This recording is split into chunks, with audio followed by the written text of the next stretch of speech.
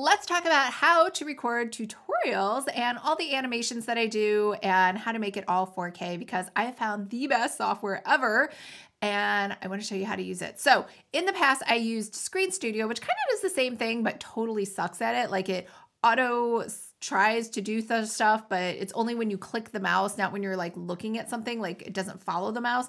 So that was an issue. And the layouts just weren't as nice. They were kind of ugly. So that was another issue.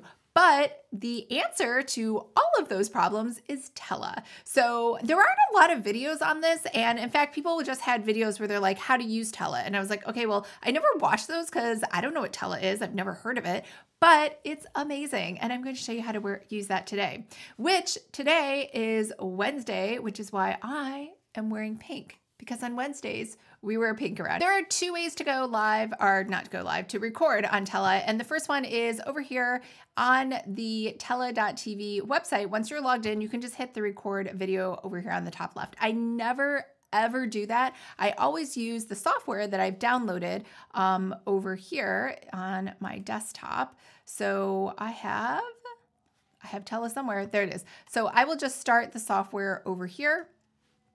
And then once it's started over here, you can change the mic that you were going to use and you can also change the video. So I can change over to, now I'm using my, my webcam over here and over here at the bottom right, this is the screen. So it's gonna record both of these at the same time. So I can record my whole screen. I can record just one of the windows that I have open. And if I had a, like Final Cut Pro is open over here, that's a software it could record just that software and not record anything else on your desktop too. So all of these things are things that you can do. And when you hit the record button over here, it'll do a countdown for you.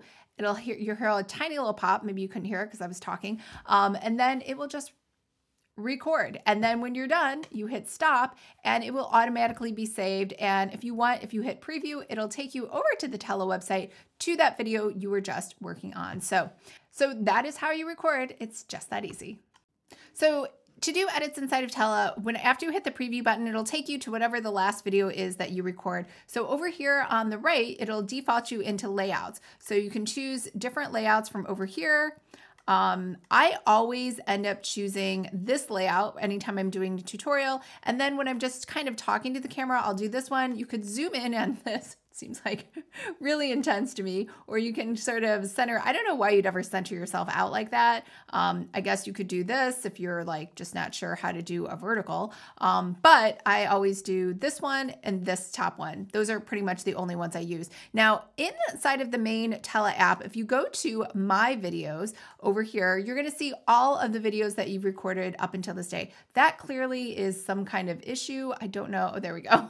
I was like, what happened? So over here, here, you're going to see all of your past things. Now, when you are done with stuff, I would highly recommend going over here and hitting the delete button. I don't know if there's a limit. I haven't reached it yet, but there's going to be a point where you're just going to have too much stuff in here. Same thing with this one. I've already used that, um, edited that, and it's done. So plus then I know like which ones I need to edit. Same thing over here. I've already done this one um, and posted it. So the rest of it, then I know I need to go in and edit. So let's say we want to go in and edit this one. This was how to record 4K. Actually, you're not going to do that because that will just play it. You're going to hit the three dots at the top. You're going to go over here to edit. And then inside of edit, when you go to layout, you can change the layout. Now, if I want to change the layout later, so let's say I start out all of my videos with just this full frame.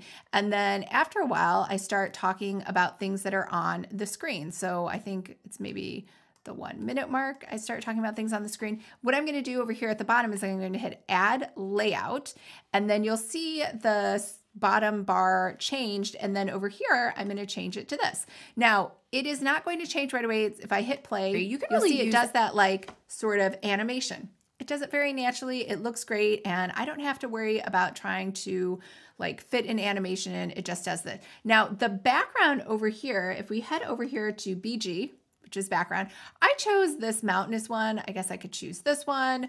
Um, I've seen other people just use a plain color. Uh, I didn't really like that as much. I wanted kind of something going on in the background. Uh, you can also add your own image and just upload, you know, something that you have, maybe something that's branded, something that says pretty fabulous at the top, or visit my website or whatever you want. Um, I find that kind of obnoxious, but that's just me personally because I just I don't like being sold to. Um, so I don't put that. I just kind of put a plain, plain background. Now over here, if you want to zoom in, so let's say over here, I just want to zoom in on this, this one image. So I'm going to go over here to zoom and I'm going to click add zoom and then you're going to see this little box appear on the bottom. Now I'm going to play any camera. To play like just a little bit of a second to like see the actual zoom because remember it does all the animations for you. And I really want to move that little target over here, but I really want that to take up the whole screen. So that's as big as it goes is 350.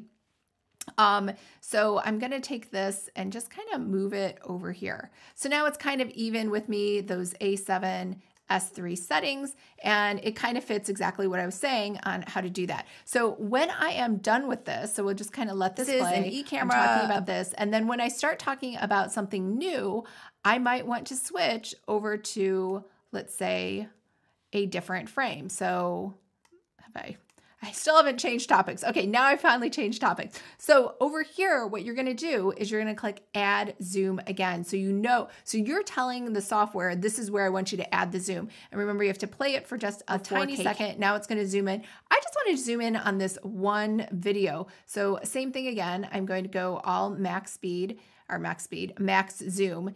And then I'm just gonna pull this up over here so you can see the video that I'm referring to. I can move this down. Wherever you move this inside of that little box timeline, it will stay like that for the whole time. After if you want you to move to it to another part, you'll actually have to shorten this down and then you'll have to add another zoom if you want to move it around to a different part. From Elgato. So over here, if I want to move it, say, to the top, then I could make this bigger and I can move this over here. So it's that's how you add different zooms. Um, same thing whenever you do layouts. This is really important. So sometimes when I get here, I'm like, oh, I just need to switch right away back to this other layout. And then it's ruined everything from that point because you need to. What I should have done instead is I should have left it like this and I should have clicked the button called add layout. So then it knows to add a new layout from that point forward. Those are pretty much the only things I use as layout and zoom. There is a trim button. So trim works eh, sometimes it works, sometimes it doesn't. It's kind of, I don't know why. It's a little clunky. So what I do is I always export this file. Over here, you can go to download and then I always choose 4K because I like things in 4K. I don't know why 60 frames per second never, oh, there, I know why now because I didn't upgrade to the next level. Um, so I just upgrade mine. I, I just do mine 4K export 30 frames per second. And then once I have that export, I will actually open this inside of Final Cut Pro and then do my trim, my cut edits there, only because sometimes I notice that the software, the Tella software lags uh, anytime I'm trying to do the trim. I'm not sure why, maybe because it's web-based. I've written to them about it. They can't figure it out. And everyone says, and this happens a lot with software, they'll just be like, can you replicate it? I can't replicate an error. Um, I've never used border. So over here at border, you can change that zoom, uh, well, I guess your picture over here. So it is going to have these different shadows. They seemed a little cheesy to me, so I've just never done them. Um, if you like them, you could try that. Um, but I use the no border. Uh, over here, subs, subtitles. I've never used subtitles because YouTube now does all the subtitles automatically for you. You don't have to worry about that. Um, mirror, I guess you can mirror it so you're um, so your face is the other way. But I always look kind of weird when I'm mirrored, so I never do that. Um, I guess that would work if you recorded something backwards. I don't know. I don't know, honestly, any occasion you'd ever use mirror. Um, crop, you could crop in. So if you didn't want to show everything on that zoom, you could crop in to say, just showing this and this. I never crop in only because um, why don't I crop in? I guess because I feel like I'm, it seems like someone's trying to hide something. So I never want to try to hide something. Um, I just kind of show my whole desktop. I don't know. That could be like over, over sharing, but that's kind of what I do. Plus, honestly, the crop is a pain and I just don't do it. Over here, redo, re record. You could just re record something, like say you didn't really like that clip. Um, but that is pretty much how to use Tella. Um, never, ever, ever, ever under any circumstances use the share button. This is made kind of like, you know how Loom, you can just share things on uh, it's like housed on Tella. I think this is an awful idea. I've tried using it in the past. It just kind of locks the software and then it does nothing. And then that file eventually just, I don't know, it comes corrupted, but you can never, ever, ever go back and edit this file, the original source file, if you hit the share button. So never, ever do that. So anyways, I hope that was useful in helping you to learn Tella and let me know if you have any questions below. All right. Bye, everyone.